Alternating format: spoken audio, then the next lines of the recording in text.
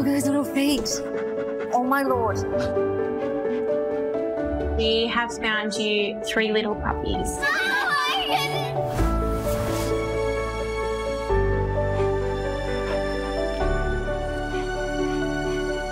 Hey. Oh, hi.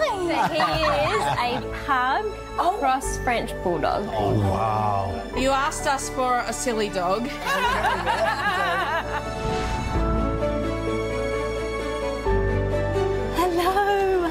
how are you, gorgeous? He's a little Australian Terrier mix. I don't even know what that is. Well, it'll be a great surprise for you then.